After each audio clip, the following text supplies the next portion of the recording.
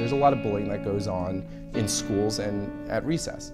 I mean, the University of California just did a report that 46% of children who have autism have experienced bullying. So we wanted to combat that. And we, we even looked into it further. We found out the number is a lot higher. The Interactive Autism Network reported the number is actually around 63%. So we said, why can't we hit it at the root cause? So why can't we find out at what age can we teach children to be accepting of everyone? Kid was playing t-ball and parents and other teammates were calling for uh, the, the coach to skip his turn at bat. We're talking about t-ball, 10, 11 year old kids. That's not the point of the game, right? It's not. And coaches today are unintentionally callous. Kids are way too competitive. And that's the root of it. That's where we wanted to start now. Special Needs Athletic Programs. It's a nonprofit in Morristown, New Jersey.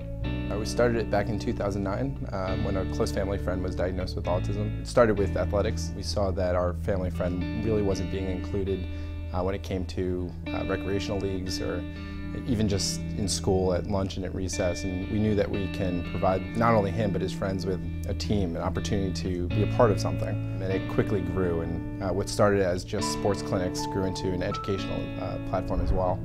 It was the family friend that you do everything with.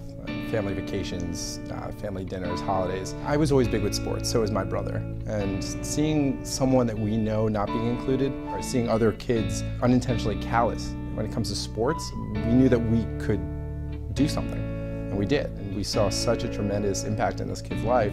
And that's, that's kind of where it started, and it's only grown from there, from two to three kids up to 10, 11 kids. And then all of a sudden we had wait lists, and we had to expand into Morris Plains, and, and Warren, and Lodi, and throughout New Jersey. Now it's in six other states. So in 2010, we saw that there was definitely a need to make an educational initiative.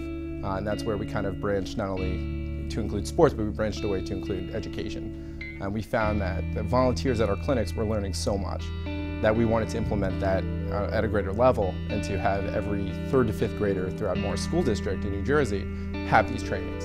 So we created these hands-on uh, modules with the help of teachers and parents and educators. We created what's now the SNAP sensitivity trainings. So what these kids do is they experience what it's like to have a disability. Uh, we teach them empathy over sympathy.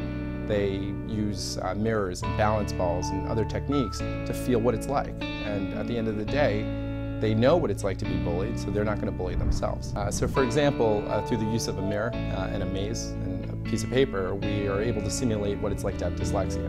So students will look into the mirror and try and write their name. It's extremely frustrating and our mentors, um, who are now students who have done the training previously, plus a gym teacher or myself, will add to the frustration. We'll ask them, what's taking so long? Or why can't you write your name? Or can you imagine doing a standardized test like this? And the kids get very frustrated. Other examples are we do balance techniques. Uh, we have students try and play a simple game of catch while standing on a Dynadisc or a balance board. They see how hard it is to do an everyday activity that most of them take for granted. And it's amazing to see these kids have trouble with that. After they do these trainings, they're, they're less likely to actually bully other kids or to tease other kids who are having trouble.